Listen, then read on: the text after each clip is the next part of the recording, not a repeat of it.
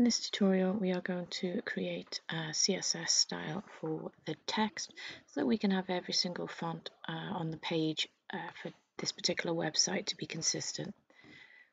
So we'll just highlight uh, the first set of text and we'll create a new rule. And you can see that here. You've got HTML and you've got CSS here. And then you just choose a font. So uh, make sure that you like it um, when you save it, make sure you use an underscore. It doesn't like spaces and you'll use a class applied to any HTML elements. That'll be on every single page. Okay.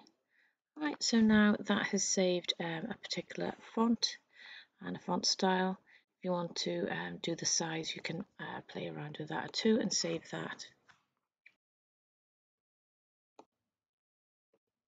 And if I add a text here, you can see that it's unformatted.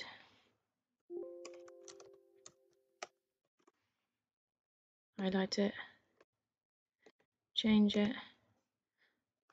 and no matter which one of uh, the pages on your website, you can create the same text style throughout.